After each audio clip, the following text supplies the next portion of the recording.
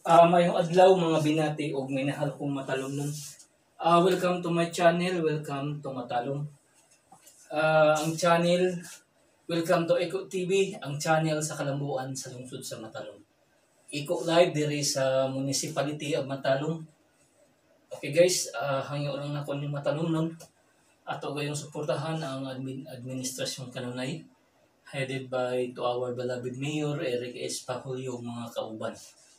Ah magpinabanga ta aron magpadayon ang paghimo o mga programa para sa mga kasada guys na nga siminto na. Ah mao na impact sa magtinabangay para ma-realize ang mga programa o kay ang mukuan sa mga programa gihimo ni alang sa katawhan sa lungsod sa Makati. Okay guys, uh, mao na itong buhaton.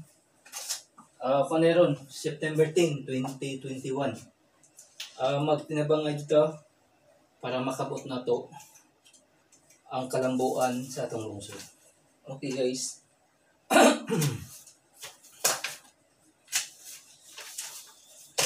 At yung suportahan ang administrasyon kanunay headed by to our beloved Mayor Eric S. Pahulyo o mga kauban.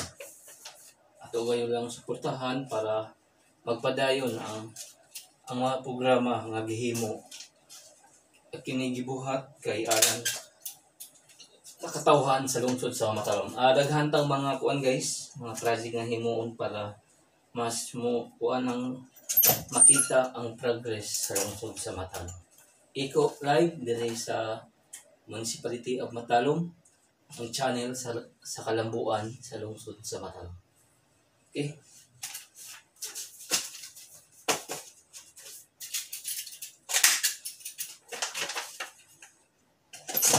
Ito na yung button guys para Okay.